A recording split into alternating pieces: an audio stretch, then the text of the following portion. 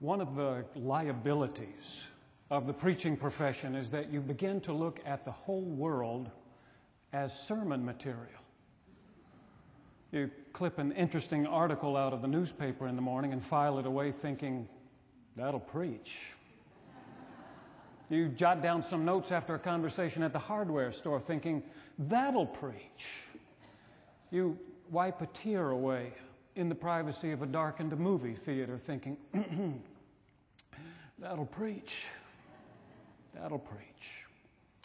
And if you read the Gospels, you see that Jesus suffered from the same affliction. Look at the birds of the air, he said. They'll preach. Consider the lilies of the field. They'll preach too.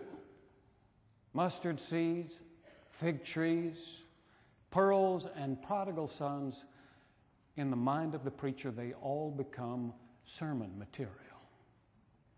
Happened to me the last time I preached on the blind Bartimaeus passage. I was pastor of First Baptist Church in Washington, D.C. in those days. And in my notes on that sermon, I found this. I think I saw Bartimaeus last Thursday afternoon. I was driving home through the Adams Morgan neighborhood, and there he was at the intersection of 18th Street and Columbia Road, standing in front of McDonald's. He was wearing sunglasses and an old felt hat. He had a white cane in one hand, a handful of change in the other. It was a warm day. I had my windows rolled down and I could hear him jingling that change in his hand, trying to arouse the generosity of perfect strangers. I did a double take because I had just been thinking about Bartimaeus, and there he was, or someone very much like him. As the light turned green and I drove through the intersection, it all began to unroll in my mind. Blind Bartimaeus, the DC version.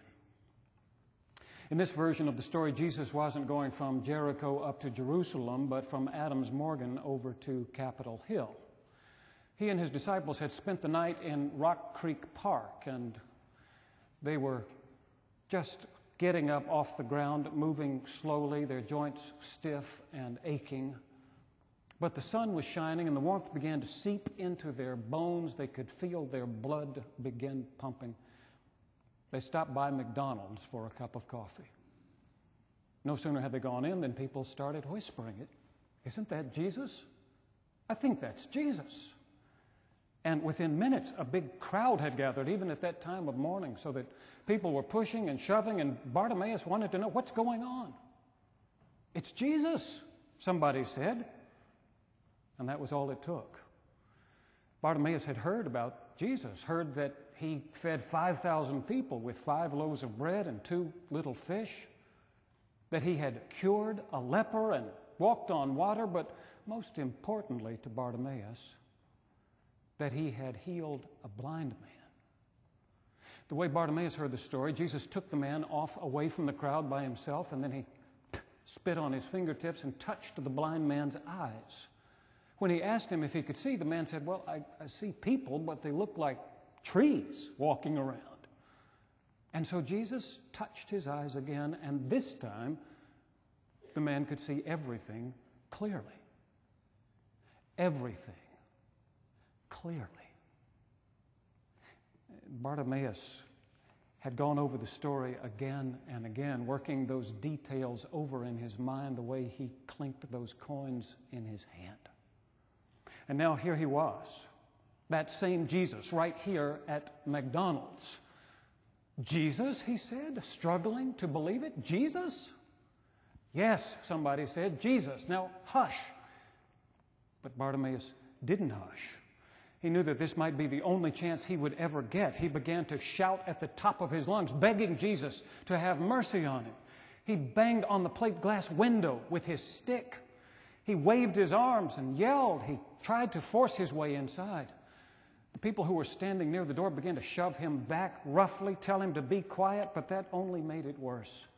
Afraid that he wouldn't get to see Jesus at all, he began to swing his stick around like a lunatic threatening to crack some skulls if he didn't get to see the teacher. People were ducking, running for cover.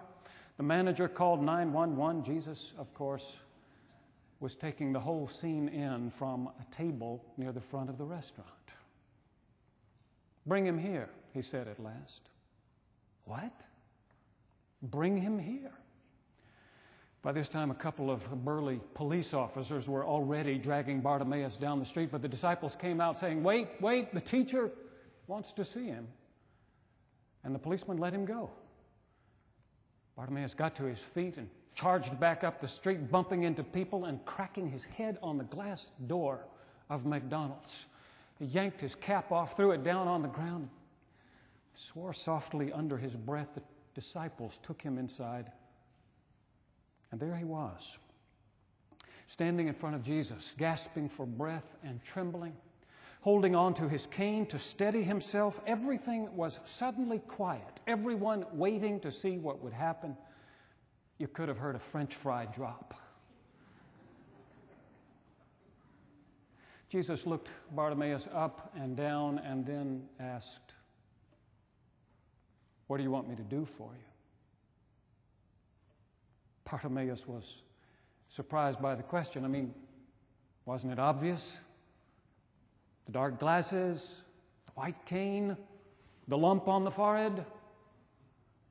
He reached up with a trembling hand and, and took off the glasses so that Jesus could see the sightless eyes rolling in their sockets. Please, sir, he said. I want to see again. And then he waited to hear the sound of Jesus spitting on his fingertips, waited to feel him touch his eyes. But instead, Jesus simply said, Go, your faith has made you well. And that's when it happened. That's when the flash of light exploded inside Bartimaeus' head, when a kaleidoscope of colors began to shift and fall into recognizable shapes and patterns. That's when he saw Jesus himself sitting there in front of him, drinking coffee out of a styrofoam cup. For the longest time, Bartimaeus just stood there staring, his eyes focused, his vision clear. He wanted to burn the image of this man on his brain like a photograph. But Jesus finished his coffee nodded to his disciples, got up, and began to move to the door. And when he did, Bartimaeus found himself moving right along with him. When Jesus went out and turned right on Columbia Road, heading toward 16th Street, Bartimaeus fell in behind him and followed. How could he do anything else? This was the man who had given him his sight back. And what if that were only the beginning?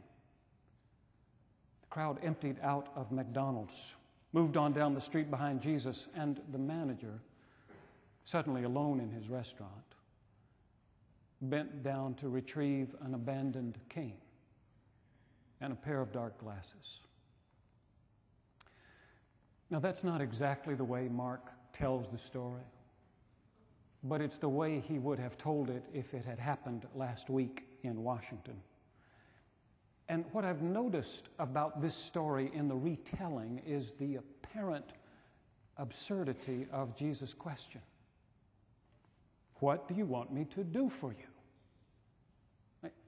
Isn't it obvious? There's a, a blind man standing in front of him. What else could he want but to see again?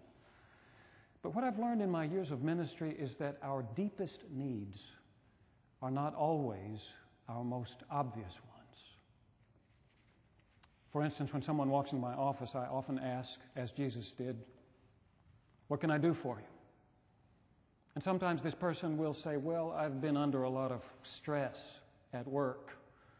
You wouldn't believe the stress I've been under. I've been working all the time 12 hours a day, 14 hours a day, trying to get my work done. As we talk further, I, I learn how hard he's been working, but also how much he wants to succeed.